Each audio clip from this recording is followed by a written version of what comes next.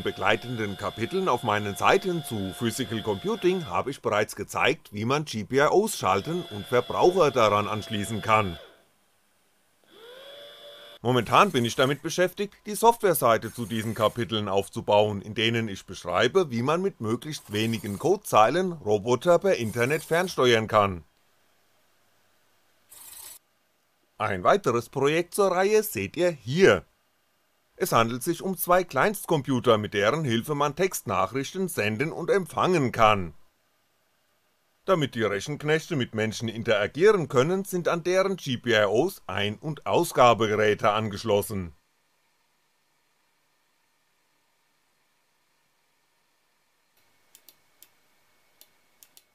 Das linke Terminal, das auf einem Arduino Uno basiert, ist möglichst einfach gehalten auf der Aufsteckplatine befindet sich eine 8x8 LED-Matrix zur Ausgabe von Daten und ein daneben angebrachter Taster dient der Eingabe von Text per Morsecode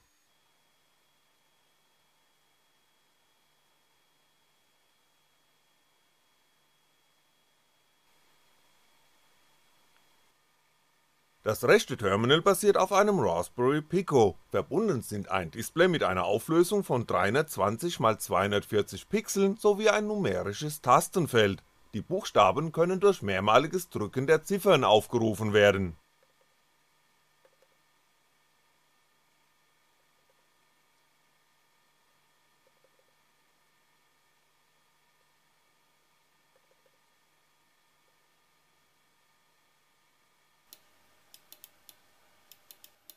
Beide PCs verfügen ferner über eine Kommunikationsschnittstelle in Form einer Infrarot-LED und einem entsprechenden Sensor, womit Daten untereinander drahtlos ausgetauscht werden können.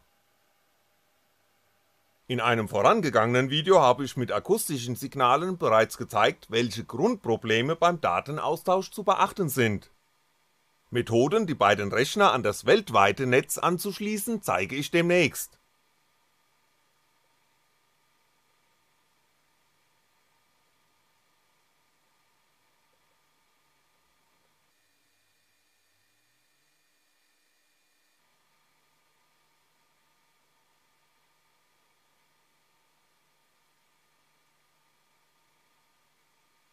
Wer verstanden hat, wie's geht, kann an dem Design des Gerätes arbeiten, auf dieser Platine ist nur der ATmega 328P Mikrocontroller des Arduino Uno verbaut und die LED-Matrix ist größer. Ich geb zu, auch dieses Design wird wohl kein Verkaufsschlager, ich arbeite weiter daran der Datenaustausch per Infrarotschnittstelle läuft für Menschen unsichtbar und unhörbar ab. Und darin liegt ein Grundproblem betreffend der Sicherheit, denn man muss darauf vertrauen können, dass die beiden Rechner die gewünschten Daten unverfälscht und wirklich nur die gewünschten Daten miteinander austauschen. Was und wie die beiden Knechte untereinander so reden, wird von der darauf laufenden Software vorgegeben Sicherer Datenaustausch kann also nur stattfinden, wenn der Quellcode der Software einsehbar ist und dieser nur so wenige Zeilen Text umfasst, dass ein einzelner Mensch in der Lage ist, diesen zu lesen und zu verstehen.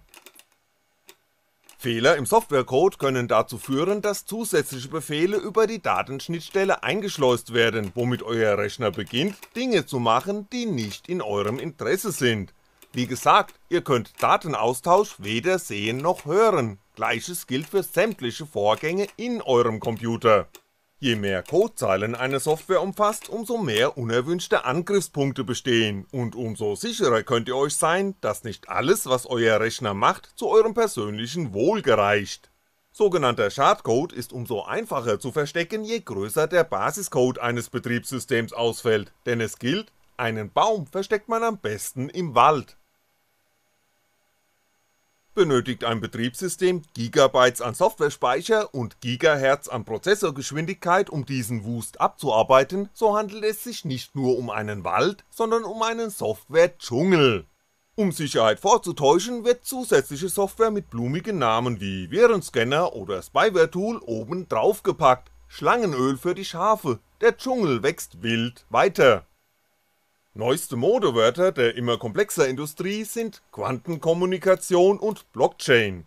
Bullshit-Bingo, denn wie sichere Kommunikation mit einfachen Mitteln, die Betonung liegt aus bereits genannten Gründen auf einfach, aufgebaut werden kann, möchte ich demnächst Schritt für Schritt zeigen. Gedacht sind meine Anleitungen für künftige Schafhirten, weniger für die ängstlichen Schafe des Planeten, denn der Barbie-Spruch aber es funktioniert einfach muss lauten, aber wie funktioniert es eigentlich? Dass bei dem Arduino Computer der Text per Morse-Taste eingegeben werden muss, erscheint umständlich, zeigt aber ein weiteres Grundproblem digitaler Kommunikation auf.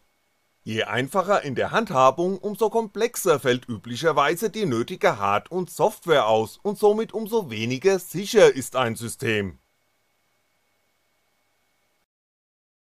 Der hier zu sehende Quellcode des Arduino Terminals ist wirklich kurz, beinhaltet aber alles was nötig ist um Text einzugeben, anzuzeigen und zu versenden.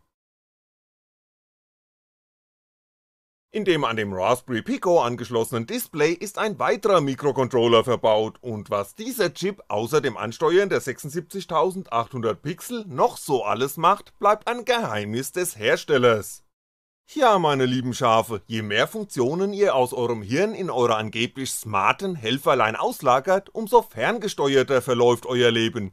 Das funktioniert wirklich einfach so. Dass einfach aber auch einfacher in der Handhabung sein kann, werde ich noch zeigen. Hab Geduld, denn niemand wird durch Angugge eines 5 Minuten Videos zum digitalen Schafhirten. Die Reihe zu sicherer Kommunikation zwischen Computern ist schon lange auf meiner Liste der abzuarbeitenden Themen, dass ich diese jetzt angehe ist dem diesjährigen Hackaday Prize geschuldet, der nach neuen Lösungen zur Anzeige und zum Austausch von Daten sucht. Viele Kapitel zu Physical Computing findet ihr bereits auf meinen Seiten, klickt mal rein, denn dort könnt ihr unter anderem den Quellcode der auf den beiden Terminals laufenden Software lesen. Ja, lesen, denn Videos zu Software machen wenig Sinn, schlicht und einfach weil man Programmieren nicht durch Angucke von Quelltext erlernt, sondern durch Lesen und Verstehen desselben. Und wer mich im weiteren Ausbau des frei verfügbaren Lernmaterials finanziell unterstützen möchte, kann gerne die Spendenschaltfläche auf meinen Seiten anklicken. Vielen Dank an alle, die davon schon Gebrauch gemacht haben. Ich werde in künftigen Kapiteln zeigen, wie man Kommunikationsterminals möglichst einfach programmiert, und zwar so, dass nicht gleich jeder Rechner mitlesen kann. In diesem Sinne, danke für